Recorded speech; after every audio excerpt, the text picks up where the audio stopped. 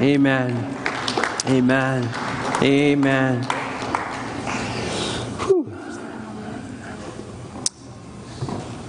Well, good morning again. hey, we're going to be in the book of Ephesians in just a moment, but I, man, I, I'm more convinced than ever um, that the power of God is real. I've been convinced of it my whole Christian life, but I'm convinced more than ever that that we have barely scratched the surface of what God intends for our lives. Would you agree with me? And, and how we get there, um, sometimes we, we pursue things on our own end, but, but really, um, to take certain risks, to trust and believe that why not today? Like, why not right now? Why, would not, why wouldn't God want to heal somebody right now? Why wouldn't God want to change our mind about something? Why wouldn't God want to illuminate uh, a, an idea that we've had through His Word? Why not today? And, and so it's with that heart that I'm excited to bring God's Word to you this morning. And I hope that you're excited to hear it. Um, last week we were in the book of Acts, and Acts will always mess you up, right? It's just so good to read Acts because it's just right there, and you either have to take it as literal history or you have to explain it away. And I choose not to explain it away. I choose to look at it and read and go, why not? Why not? And my, my hope today is as we open up God's word that you'll cultivate a, a heart attitude of why not. Like, why not in, in your life today? Why not God um, to touch your heart and your life and, and maybe change a perspective? And as we read the book of Acts, and not, we didn't read the whole book, uh, but we read chapter 8 and we looked at this guy named Philip as he came to a place called Samaria that wasn't the most popular place to do ministry. It was a place that was avoided. Um, it was a place that there, were, there was cultural tensions between between Jewish folk and the Samaritans. And, and yet, God, through uh, circumstances that were not something that, that anyone would enjoy, it was through persecution that it caused a scattering. And sometimes God uses circumstances to get us where we need to be. Amen?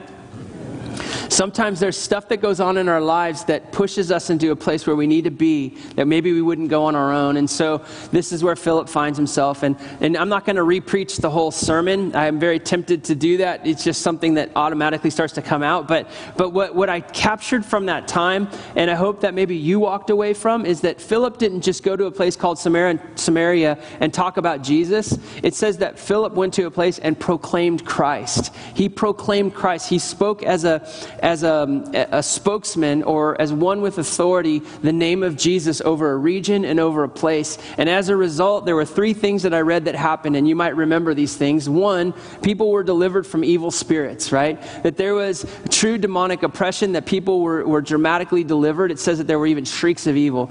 And, and so those, or I kept doing that, there were shrieks, and with the shrieks, the evil spirits came out. But, but regardless of how it all went down, stuff went down, right? So that there was, there was deliverance that occurred. It says that there was physical healings that took place. And, that, that means that, that said the paralytics were, were walking and so forth. And the third thing that, that occurred as a result of the proclamation, not just talking about, but declaring, proclaiming Jesus, his real power, his real presence, his real kingdom taking root in a real point in history, what occurred was a restoration of joy.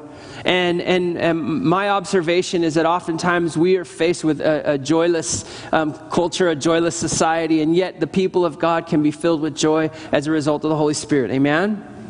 I just say amen every once in a while to make sure, you know, we got the feedback stream going. So, so at any, at any rate, um, I want to springboard off of that and I want to share with you something that, that you've probably heard before, but yet I think we need to be reminded as the people of God. And, and it's found in Ephesians chapter 2. And, and what I want to talk to you about in Ephesians chapter 2 is really um, what your position is as a believer, who you are in the kingdom of God, and, and how we see ourselves often pales in comparison comparison to the way that God sees us. I want to just say that right now. The way that you see yourself, the way that you see who you are as a believer, the way that you might see your your ministry or who you are um, is, it pales in comparison to the way that God sees you.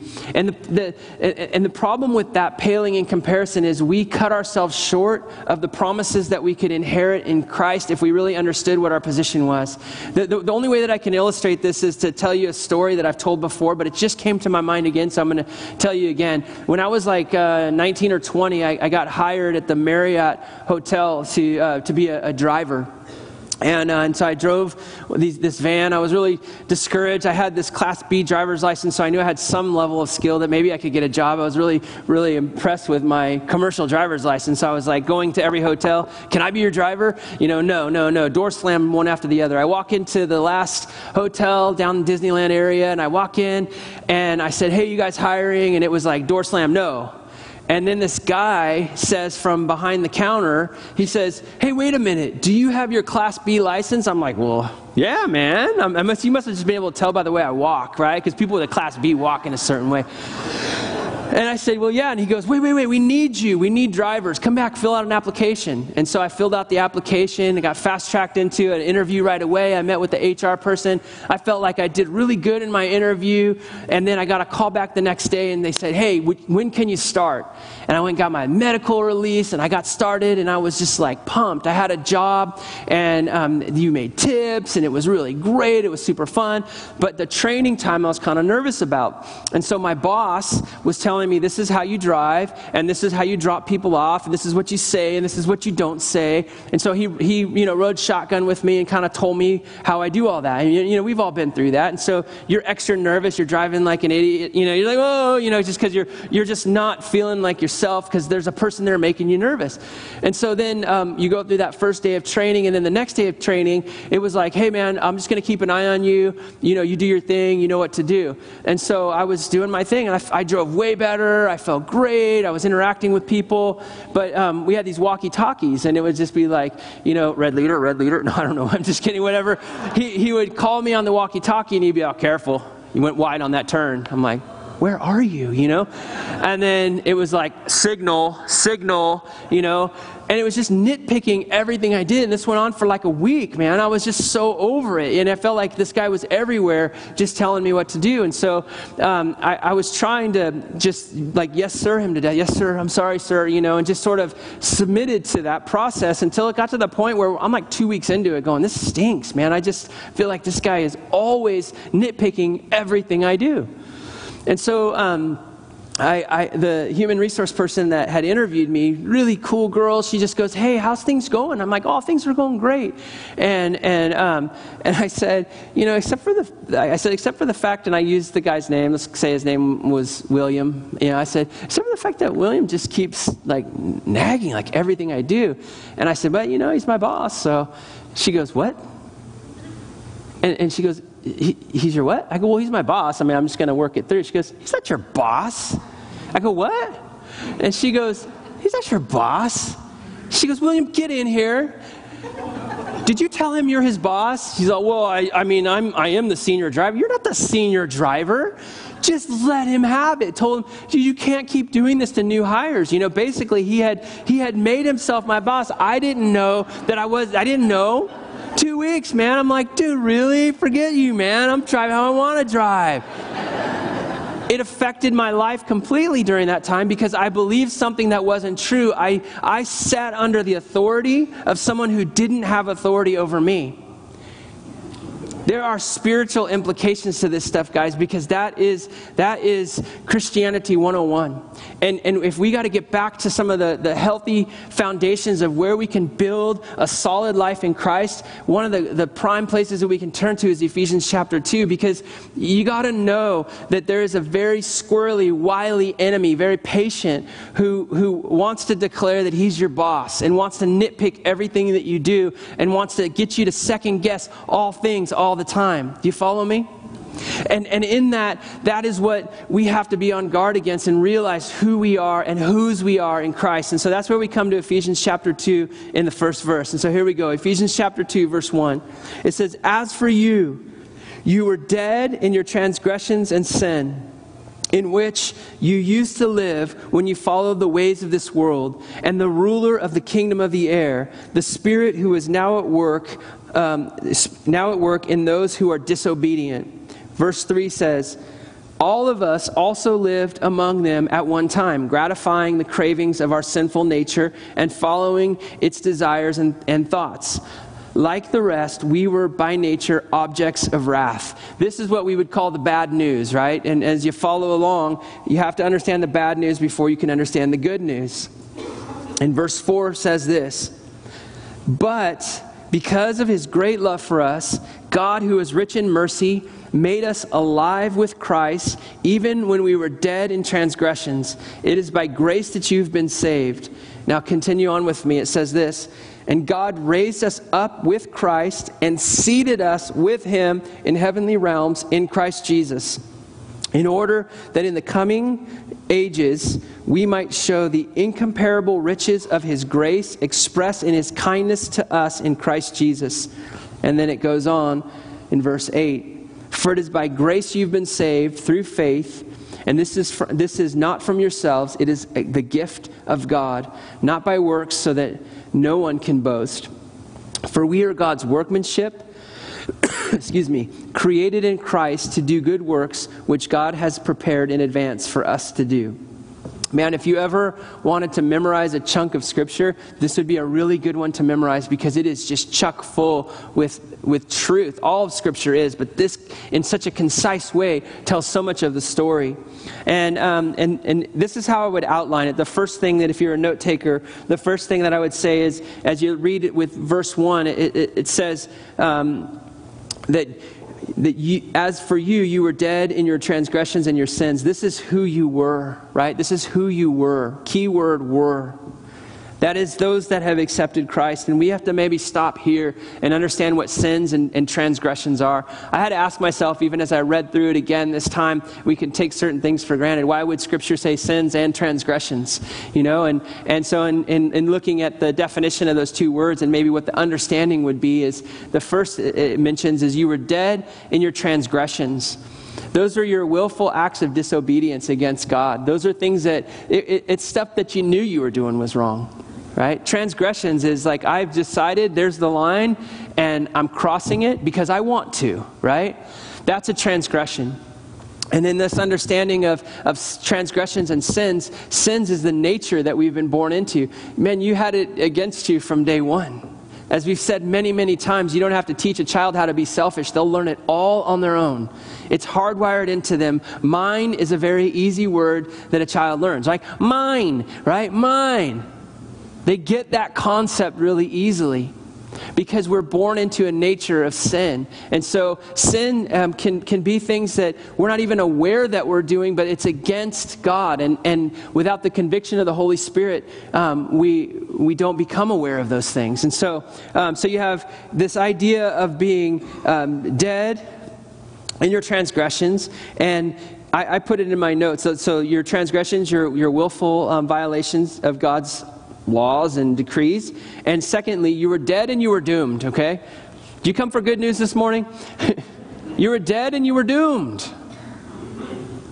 And I think we have to sit in that a little bit to understand the good news of the gospel is that the violation of those sins against God, whether they were willful or not willful, the only answer to that is the wrath of God.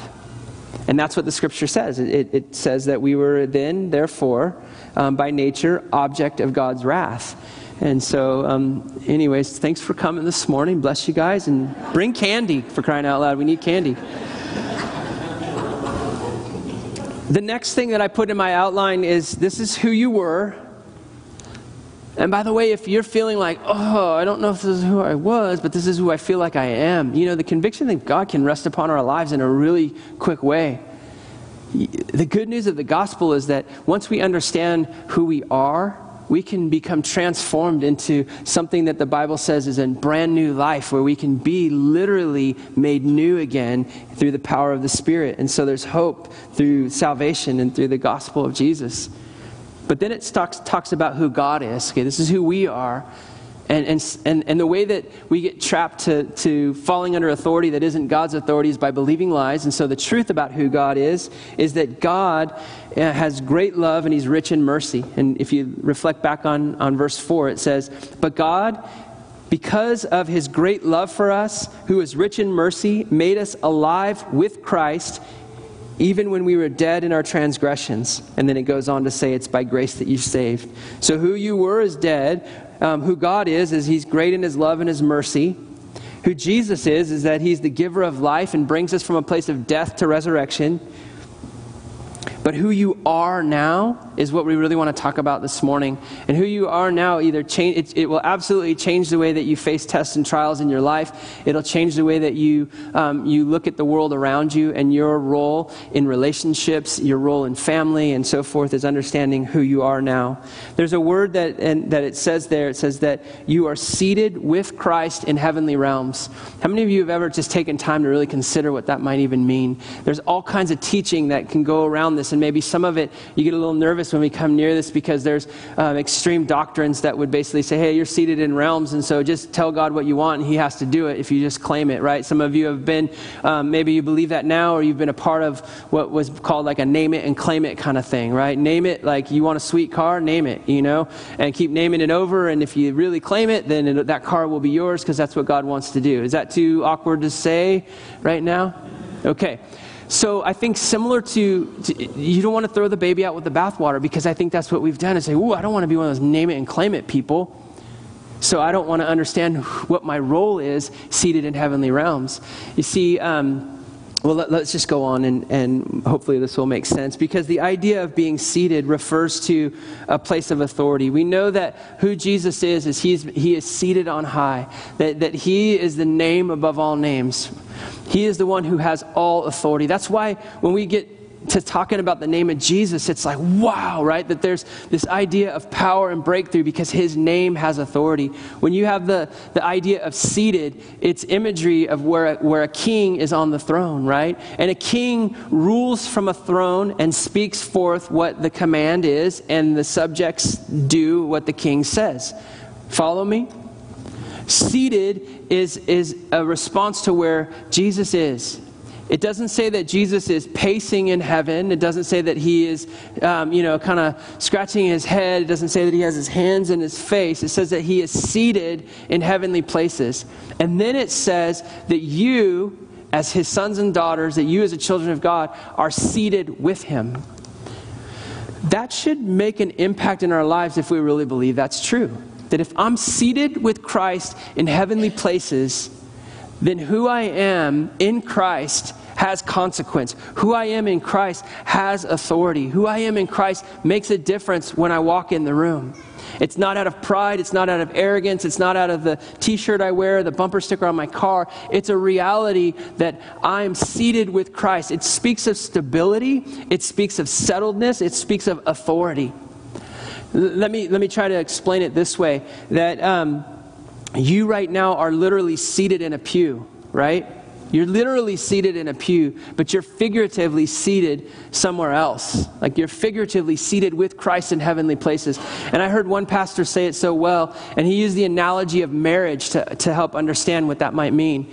And so, um, so when somebody becomes married, they are, so you're, you're literally seated here, but you're legally seated with Christ, right? So literal here, legally there. Legally, in a marriage relationship, you come together, the two become one flesh, but also your stuff becomes one, correct? That you have now the authority to speak on the other's behalf. So, in other words, in a medical situation, who are you? Are you the wife? Okay, so now you can be the one that I talk to it has, a, it has an implication. When Rochelle and I got married, man, she really scored because I had like 500 bucks in the bank. I had an Isuzu Trooper, and I had like a 12 foot aluminum boat. It was my little fishing boat. She got all that, right? all hers. And it was good for her. She loved it. Sweet. So we're not literally seated in heaven. I don't want to paint the picture that, that, that you know, that that's where we are. But I do want to I do want to drive home the reality of the point that we are legally the kingdom of light and the kingdom of darkness functions in legality, right? The enemy is a legalist. He's looking for ways to take authority just like my fake boss was looking for ways to take authority over me. The enemy is looking for ways to take authority over you, and the only way he can do it is when he lies to you. And when these kind of truths are not exposed, and when we see ourselves as less than who we truly are in Christ. And, and so um, let's, let's kind of continue on with this because if we really understand this stuff, if we're seated with Christ in heavenly places, that means that his victory is your victory, right? Jesus' victory, his resurrection, is your resurrection. That you were raised with him in Christ. that, that his perspective is your perspective. That where if you are seated with Jesus in heavenly places, the way that you pray is different, the way that you see the world is different, because your perspective is different, knowing that you're not, you're not like pacing around with Jesus, you're seated with him in those heavenly places. And third, his authority is your authority. I think that's the one that really, really makes a difference. Um, let's get some context and, and go up to Ephesians chapter 1 and verse 18. Paul, in the writing of this letter to the church in Ephesus, is really wanting to drive this point home about who they are. And, and as you know, the book of Ephesians speaks of spiritual warfare and fighting the good fight of faith and how we do it. But he begins in the very beginning by setting it up, saying, I pray also that the eyes of your heart may be enlightened in order that you may know the hope to which he has called you, the riches of his glorious inheritance in the saints. He's like, you've got to have your eyes open to be able to see it. And that comes through the power of the Spirit, and it comes through the, the truth being proclaimed over your life and going, oh, wait, I don't have to submit to a yoke of slavery. I don't have to submit to my fake boss anymore. I'm free of that. Let me tell you, my job at the Marriott was way better after I stopped submitting. I kind of took it the other direction. I'm like, no, you will submit to me, fool. No, I'm just kidding. I, I never did. I'm just joking. I'm kidding. Um, in, in verse. Uh, as we read on in verse 19, and it says, And his comparable great power for us who believes, that power is like the working of his mighty strength, which he exerted in Christ when he raised him from the dead and seated him at the right hand in heavenly realms, far above the, all rule and authority, power and dominion, and every title that can be given, not only in the present age, but in the age to come. That's Jesus. That's Jesus. And you're seated with him. And his victory is your victory, and his perspective is your victory, and his authority is your authority. And guess what? Now we just got to act like it. And when we begin to act like it and walk in that true authority, it changes things. Um, let's, let's talk about a practical way. And this is really what I, I hope to leave you with. Um, one of the things that has become more and more apparent to me, uh, and, and I've heard this my whole life, but it's the power of our words, right? And when I was studying that in Acts, it just really opened my eyes that when Philip spoke things, and he just didn't speak about things, but when he spoke as seated in heavenly places, when he came to a place called Samaria, when he spoke, it changed things. And, and we know so much about words, and I'm going to give you some scripture that you've probably heard about before, but one of the practical implications of the authority that we carry is what comes out of our mouth. That the power of our words could literally change things. This isn't, again, um, positive confession or, or don't put a jinx on it kind of like weird voodoo. This is the Word of God. And the, the, Word of God says some things here. Let me give you some examples. Proverbs 10, verse 11. There's a, t- a ton of Proverbs about your words. Um, it says, Proverbs 10, verse 11, the mouth of the righteous is a fountain of life, but violence overwhelms the mouth of the wicked, right? Think about that for a second. The mouth of the righteous is a fountain of life. The mouth of the righteous is called to speak life. It should bubble out of us, that we should be speaking life to our spouse, life to our children, life to situations and circumstances. But you see, the, the, the, violent or the one that, that is contrasted to the, the righteous person, they, they, or the wicked, they speak um, violence out of their mouth. They, they're in the defensive posture, or an offensive posture, excuse me. Um, Proverbs 12, reckless words pierce like a sword. How many of you go, yep? We've been on the receiving end of, of reckless words, and chances are we've been on the giving end of reckless words, right? Reckless words, many times, the most harmful and hurtful things aren't premeditated. It's not like you want to sit there and think about it, but they're dwelling inside of you. As Jesus said, out of the abundance of our heart, our mouth speaks. And when pressed and squeezed, stupid stuff comes out of our mouth. And once it gets out, it pierces like a sword. But the opposite of that is the tongue of the wise brings healing. What a great privilege that we have to either be on the side of recklessness or on the side of wisdom. Proverbs 18:21, this is probably one that you'll identify with and have heard many times. It says, "The tongue has the power of life and death." Do you believe that? The tongue has the power of life and death. If you just take a step back for a moment and look from the very beginning of Scripture, right in Genesis, Genesis chapter 1, starting in verse 3, the, the, it reads this And God said, right? And God said, and God spoke life, God spoke creation. Things happened as words came out of God's mouth. Adam had the opportunity to name animals, and Adam said, You will be called such and such. And that, that, that animal was called such and such according to what God looked and said, Okay, what are you going to name him, Adam? And Adam said it, and God's like, Yep, that's the giraffe now. Words from the very beginning have been powerful. And so, so words have creative power. Um, I'm getting ahead of myself. Um, the tongue has the power of life and death, and those who love it will eat its fruit. I like the way that the New Living Translation put it because I think it breaks it down in a way that we might understand it a little better. It says, The tongue can bring um, death or life, and those who love to talk will reap the consequences. The tongue can bring life and death, and those who love to talk they're going to reap the consequences. Speak life, right? James um, says it so, so well, man. James 3 5. The tongue is a small part of the body, but it makes a great boast. Consider what a great forest fire is set on, on fire by a small spark. The tongue is also a fire, a world of evil among the parts of the body. It corrupts the whole body, it sets the whole course of one's life on fire, and it, it, and is itself set on fire by hell. Hell, right? See, I enunciated that.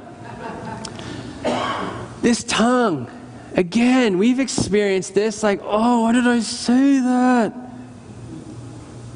Words and the power of it. Words, I, I, I narrowed down three things that I, I see in Scripture about words um, words have creative power, as I said from the very beginning of the book, and God said, Let there be. Your words have creative power. Your words have the power of life, or they have the power of death. They have the, they have the power to create, or they have the power to destroy. I, I don't want to be taken literally here to say, Well, I can say, you know, this happened, and, you know, uh, I don't know, uh, flower form out of the ground. That's not the weirdness I'm talking about. What I'm talking about is what we speak over one another the things that a father speaks over a son, the things that a husband speaks over a wife, the things that, that a friend says to another friend. That those things are charting a course for our life that are either leading towards victory, leading towards health and, and, and authority in Christ, like leading towards the things of the kingdom, or they're leading towards developing more insecurity, developing fears, developing anxiety, developing second guessing about personality and, oh, I'm such an idiot and I do these things and, and so forth. And it leads to something. It leads to a very dangerous, dangerous cycle of agreeing with what the enemy says about you versus agreeing with what God says about you. Words have authoritative power, right? So words have creative power, words have authoritative power. Um, that's why in Scripture it says, hey, uh, uh, by the witness of two or three, a matter shall be established. It's, it's these, what is spoken about a situation has actual real power. Um, Jesus, you might remember when he was with his boys and they were on the, the Sea of Galilee and a storm rises up and he's sleeping and they're freaking out. And what does Jesus do? He wakes up and they're, and, and they're like, How could you be sleeping right now? And Jesus says, What? Peace be still. His words had authority even over creation. And then what did they do? They're like, man, who, who is this one that even the winds obey him? Words have overcoming power, right? What do we know? We often love to quote it that, that how do we overcome the enemy? By the blood of the Lamb and what? The word of our testimony, right? I thought that was going to hit big. I thought I threw a soft pitch, and you guys are, well, I don't know. What do we say, right? The Re- Revelation says it like we overcome the enemy by the blood of the Lamb and the word of our testimony. That these words have power. So, what, what I put over each one of, if words have creative power, then we as God's people speak life right if words have creative power then we speak life that we are we are seated with christ in heavenly places that we should be seeing things through victorious eyes and speaking things through christ-like perspective and with Christ's authority. And so, if words have creative power, we speak life. If words have authoritative power, we speak up. We speak up.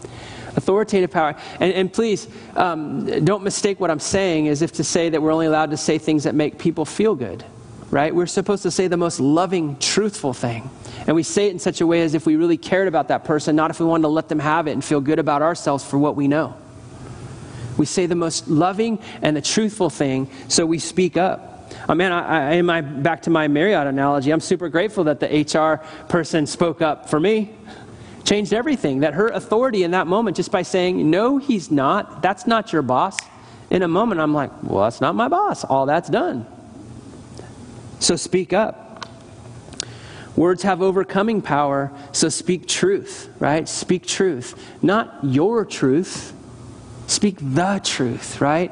Truth is not um, some subjective thing that, w- according to what I think about a situation or my perspective, but you speak truth as it's occurred in your life. You speak truth of God's word. You speak forth truth that has an overcoming power.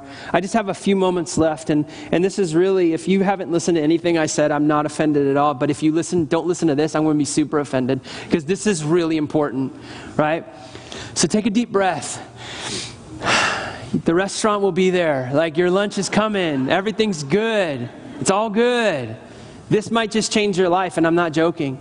This might just change your life. I mentioned earlier that, that if we're not careful with all the words that are being thrown around and things that have been spoken over your life and things that have been spoken over my life, that they can create very unhealthy patterns. And those unhealthy patterns are, are things that we don't even know that we've done, but we've agreed with the enemy about something right? In other, in other words, it, it looks like this that, that maybe something was spoken over your life powerfully. You know, maybe it was by a parent, maybe it was by a friend, maybe it was by just some stranger. And, and they said something to you like, man, you're lazy. You'll never amount to anything. And you go, it just like, you just took it. And then when something doesn't go right, what comes back up in your mind? It's like, man, I am lazy. I'm never going to amount to anything. You see, who do you think planted that thought in your mind? Was it Jesus seated in heavenly places giving you a perspective?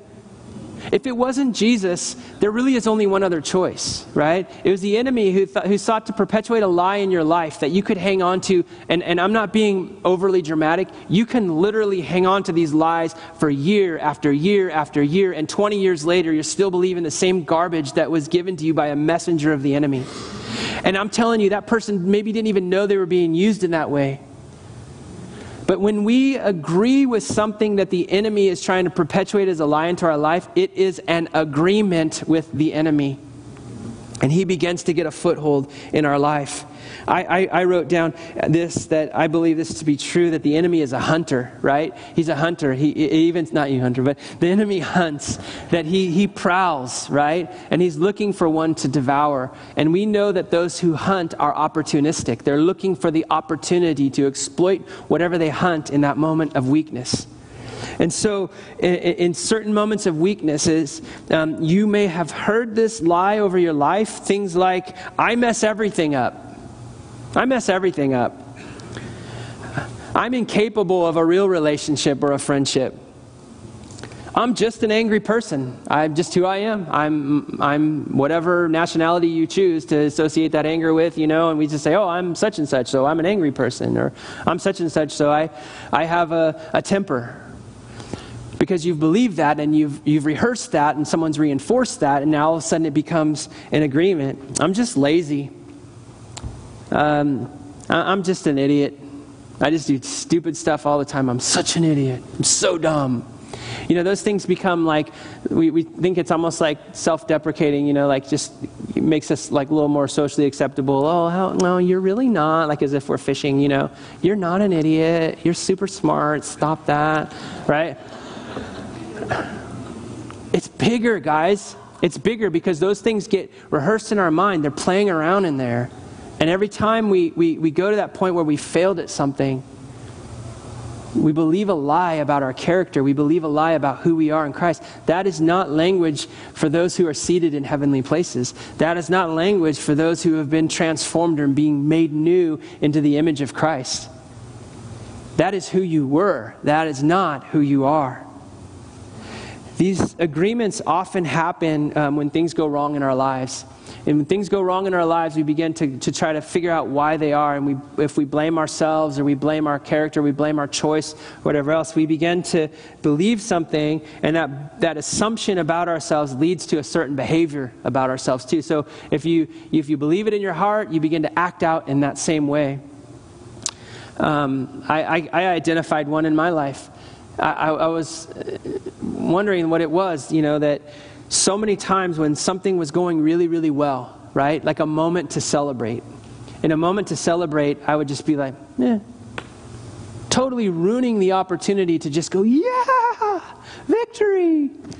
Why was I doing that? Because I had an agreement that don't celebrate because right around the corner comes tragedy. See, I'm just giving you an example. And, and, and I had to identify that. And that was something fairly recently in my life that I was like, oh my, I, I talked to somebody about it. I said, why do you think that is? You know, and you begin to peel the onion and you realize whatever the experience was that, that causes that. So I'm telling you that not for you to feel bad for me, okay? I'm not telling you that for you to go, oh man, that stinks, or for you to come up to me and say, hey, don't forget to celebrate, okay? I'm telling you that so that you understand this is what it looks like. This is what it looks like. And, and, and I don't, I, I don't want to. I don't want that agreement in my life. And there are many others. There are many others. There are things that I'm watching that when I say that, you know, I'm being careful. And I would encourage you along the same way because, see, what happens with these agreements is they're not just like silly little words that we say, they literally change the way that we behave. They literally change the actions. And, and, and, I wrote this down. Assumptions about who you are become agreements that shape outcomes, right? Assumptions about who you are become agreements. So, negative assumptions, they become an agreement. Yep, that's me. I always mess it up. I always do the dumb thing. I'm socially awkward. I'm da da da da. And those agreements shape outcomes. And here's the good news these things can be broken. These things can 100% be broken. Um, uh, I want to invite our, our worship team to come because we literally have two minutes left, so you just have to do it, man. You just have to get them up here. Run up here, guys. No, I'm joking. I, I, I think that I, I, I think I've experienced some life enough to see some cycles, right? And to see some cycles of, of destruction that the enemy has when the people of God submit to the wrong boss and don't even know it. I've seen these types of agreements with the wrong authority in our life break up marriages. I've seen them literally steal joy away from people. I've seen them um, rob opportunities for people to be used by God and for His purposes. And I've literally seen these kinds of things cause people to move away from relationship with God, period. And, and that's why I come to you in the way that I do. And that's why I, I said that. Like, if you don't hear anything, hear this part. Because I, I came into today's service thinking, why not today that God would break off some of those wrong agreements in our lives? And, and, and, and simply by coming into the presence of God and declaring who God is.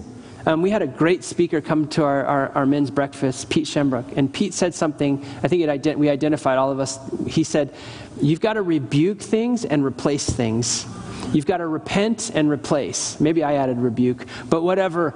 Um, that we repent of some of these things. We, we, we turn away and going, God, I, I'm no longer going to submit to the wrong authority. But you don't just hang out there, you replace it with truth and who you are going to be seated with and how you are going to conduct yourself as a result. And so I wanted to do this. I wanted to invite you to stand with me and, and we sing a song that I think declares the character and nature of God so well. Uh, and the song is God with us, God for us. No one can stand between us. Um, there's so much in that song, and, and as you're, you're singing it, would you fill your heart with truth about who God is? And that truth, what that does is it replaces the lie of what you might have believed, and it pushes the enemy out. And then we're just going to take a moment together as a church just to break things over our lives. Just say, no more. Like today's the day that we stand in authority against agreements that we may have subconsciously made. Maybe we overtly said, I'm never going to do such and such or whatever. We're just going to break it in the name of Jesus and walk in the, the freedom that God's given us as sons and daughters. Does this sound okay with you? All right. Well, let's sing this song together and let's fill our hearts with truth of his character.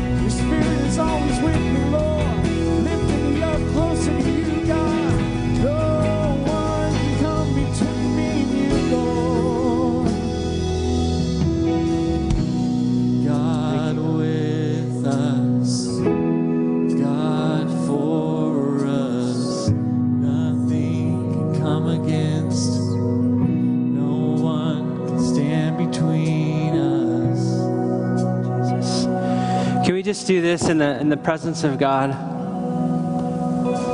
Maybe you've identified with some of the things that I've spoken today, and, and you've realized that knowingly or unknowingly, you've agreed with lies about who you are.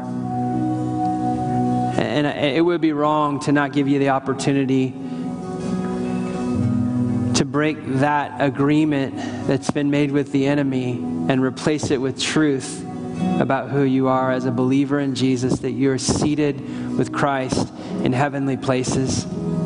And the way that it looks is this is just to take a moment and, and say, God, is, is there anything? And let Him bring something to mind.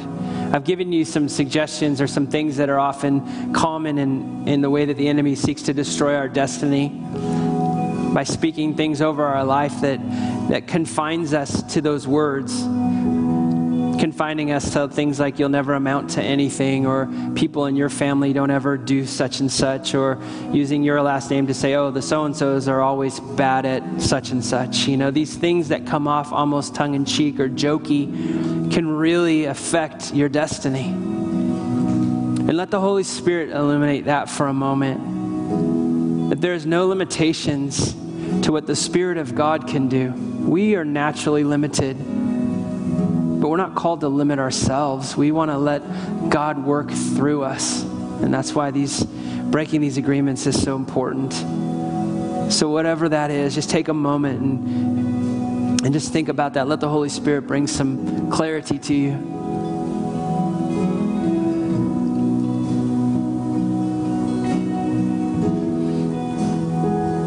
And as it comes to mind, it's just a real simple prayer that we pray but the simple prayer is packed with authority because remember who you are. You're not just speaking things you hope to be true, but you're speaking on behalf of Jesus. You're speaking with authority. His victory is your victory, His perspective is your perspective, and His authority is your authority. And with that authority, I invite you to speak the simple truth. I renounce any agreement I've made with the enemy. If you want to say it out loud, say it out loud. If you want to whisper it, just whisper it, but just say it. Get the words out. I renounce any agreement I've made with the enemy. By believing or speaking a lie about myself, or believing a lie that others have spoken about me. I renounce that agreement in the name of Jesus. And remember, we renounce things and, and, and, then, and, and then we repent of it and we walk and we turn the other way, but we have to replace. And, and here's the truth that I, I want to replace that lie with, and, and it's truth directly from God's Word. I would invite you to open your eyes and look to the screen. And on the screen, you're going to see Ephesians chapter 2, verse 6. And I'm going to read it first, and then we're going to say it together with one voice. But let me read it first. It says, And God raised us up with Christ and seated us with him in the heavenly realms in Jesus Christ, in order that in the coming age he might show the incomparable riches of his grace expressed in his kindness to us in Christ Jesus. Now, it's significant to speak it out, okay? And we're going to give a shot at it as we look at this, this together. And so if you could put chapter 6, or excuse me, verse 6 back up on the screen. Would you say this out loud with me and, and, and make it a declaration of, your, of, of truth over your life? Say this with me. And God raised us up with Christ and seated us with him in the heavenly realms in Christ Jesus in order that in the coming ages he might show incomparable riches of his grace expressed in his kindness to us in Christ Jesus. And now, before we, we stop this, let's look at the 10th verse because this is what I want to leave you with. This is who you are. You're God's handiwork. You're created in Christ Jesus to do good works, which God's prepared in advance for you to do. And, and I want to declare that. Uh, you're his workmanship. He's making something beautiful out of you. Don't believe the lie. Come on, let's say it. For we are God's handiwork, created in Christ Jesus to do his good works, which God prepared in advance for us to do. Would you just put out your hands? Father, I bless your people today. God, I bless them with your truth. I think highly of them, but Lord, you think so much more highly. You think from a perfect heavenly perspective. Father, I bless them with truth today. Lord, may they walk out of this place free of agreements with the enemy that they didn't even know they made. May they walk out of this place free to walk, to walk as you've called them to walk, seated in heavenly places. Kind of funny to say walk and seated, but you know what I'm after. God, I bless them now in the name of Jesus. Lord, may they walk out of here free in the authority of you. Bless them now in your precious name. In Jesus' name, I bless you. Amen and amen. God bless you.